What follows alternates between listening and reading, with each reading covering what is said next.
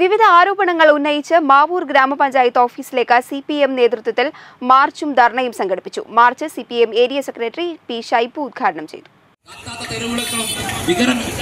വിവരമില്ലാത്ത മാവൂർ ഗ്രാമപഞ്ചായത്തിന്റെ വികസന പ്രവർത്തനം കൊണ്ട് മാവൂർ ഗ്രാമപഞ്ചായത്തിനെ ദരിദ്ര പഞ്ചായത്താക്കി മാറ്റിയ യു ഡി എഫ് ഭരിക്കുന്ന മാവൂർ ഗ്രാമപഞ്ചായത്തിലേത് അധികാര വടംവലിയും അഴിമതിയും അശാസ്ത്രീയമായ നിർമ്മാണങ്ങളുമാണെന്നാരോപിച്ചാണ് സി പി എം നേതൃത്വത്തിൽ മാവൂർ ഗ്രാമപഞ്ചായത്ത് ഓഫീസിലേക്ക് മാർച്ചും ധർണയും സംഘടിപ്പിച്ചത്.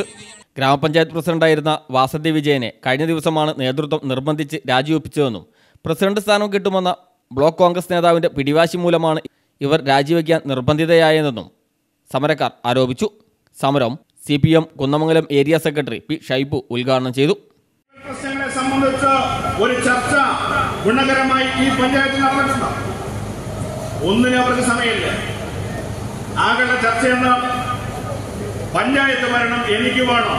ഇവിടെ യു ഡി എഫിന് ഒരു പത്ത് മെമ്പർമാരുണ്ടെങ്കിൽ ആ പത്ത് മെമ്പർമാർക്കും ഊഴം വെച്ച് പ്രസിഡന്റ് ആവണം എന്ന് പറയുന്ന വൃത്തികെട്ട അധികാര കൊതിയല്ലാതെ എന്താണ് ഈ മാവൂർ പഞ്ചായത്തിൽ ഈ നാല് വർഷക്കാലം നടന്നത്?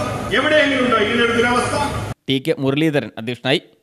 E N Premanathan Suresh Puthukkudi A P Mohandas M Dharmajan K P Chandran P Sunilkumar തുടങ്ങിയവർ സംസാരിച്ചു.